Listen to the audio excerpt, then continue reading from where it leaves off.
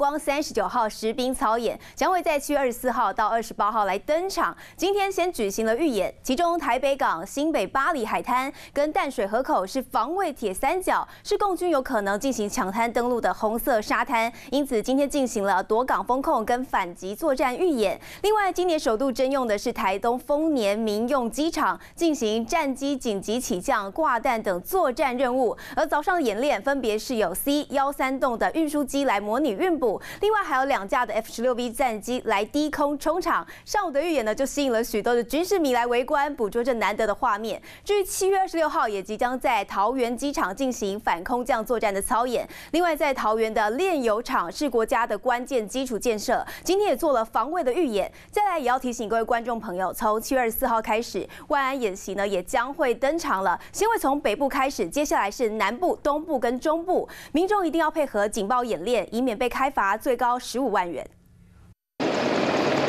汉光三十九号演习将在二十四号登场，一连五天四夜不间断。国军清晨在台北港附近进行预演，两架陆军航特部的黑鹰直升机以及两架阿帕奇攻击直升机进行突击演练。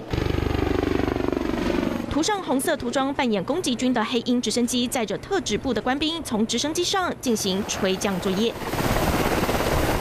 国军连续两年在台北港以及附近的巴黎海滩进行汉光演习的实兵操演，主要就是因为台北港是关键基础设施，附近的海滩列为红色沙滩，是重要的战略位置。国防部评估共军主力登陆的四大沙滩，包括了台北港旁的林口宝斗错、桃园海湖、台中甲南、台南喜树，而近期曾实施操演的海滩，则分布在台北港附近的新北巴里、花莲北埔、台东之本以及屏东加路塘。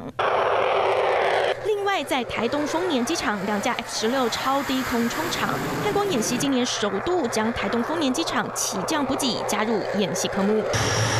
C 幺三栋运输机也落地模拟运补。国军汉光三十九号演习实兵操演，今年首度征用了台东丰年民用机场进行战机紧急起降、挂弹等作战任务。总统二十五号将亲自出席教阅，要确保共军无法从巴士海峡进犯。周遭也可以看到许多军事迷们拿着镜头捕捉，甚至有人站在轿车的车顶，就是要一窥军机降落民用机场的画面。而在桃园炼油厂，国军官兵穿戴装备，集合列队，进入到桃园炼油厂执行任务，进行国家关键基础设施的安全防护预演。排除新台币三万元以上十五万元以下之罚款。另外，民众也要注意，万安四十六号演习七月二十四号先在北部地区登场，南部地区是七月二十五号，二十六号是东部，二十七号是中部。下午一点半到两点要留意万安演习警报，除了行驶中的所有车辆必须要立刻靠边停车之外，车上人员也必须接受引导就近避内。